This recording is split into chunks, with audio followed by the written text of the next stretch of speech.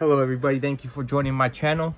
This part's going to be on uh, uh, oats and uh, its relation to pain and inflammation, part two. Um, so oatmeal, when you, you uh, boil it, one cup, um, it's supposed to help you control your uh, blood sugar levels. Um, and then what it does is it, it uh, increases your, your health by improving the insulin sensitivity that your body is undergoing. Um, this makes it uh, uh, relevant to people with uh, insulin resistance and then also makes it helpful for people with diabetes in general. Um, the thing is, is that there's um, the suggested uh, uh, intake of oatmeal that they uh, put on the packages. it's the serving portions, serving size they call it.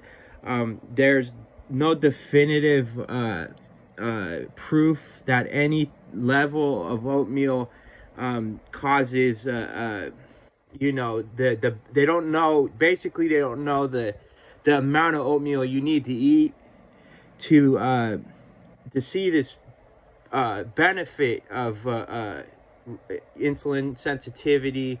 Um, the insulin resist helping with insulin resistance and also helping with diabetics uh, control their blood sugar levels. Um, and uh, um, again it, it it's, it's good for blood pressure. Uh, it it uh, it lowers blood pressure high uh, so it lowers high blood pressure.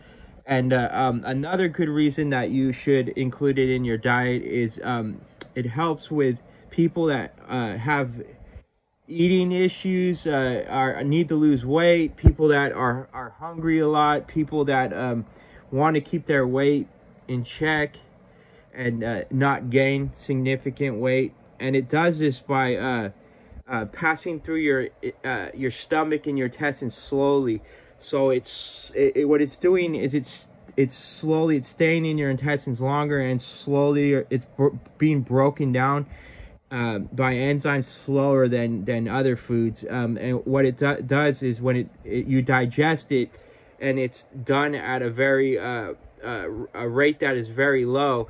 Uh, what this does is it it helps uh, uh, generate blood sugar, which is glucose, in a very slow manner. So it's releasing it slowly and not releasing the glucose very fast. So it, that's what makes it good and what, what it makes specifically good for people that are working out or people that uh, need extra energy during the day and and and to extend that this energy production um, and that's good for people because what it will do is it will help you control weight and it will help you have more energy and then um, you know like i said hunger if you're hungry you need to uh, uh, eat foods that make you less hungry and make you want to eat less.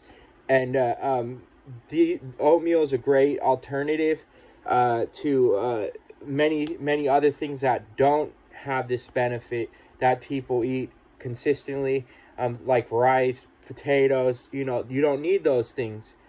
Oatmeal is a better alternative. So if you're eating rice or, or potatoes, you can switch to oatmeal um, and and and uh, you'll have be healthier and you will maintain help maintain your weight help you lose weight if you're exercising which you should already be doing. And uh, that's it for part three. You all have a great day. Bye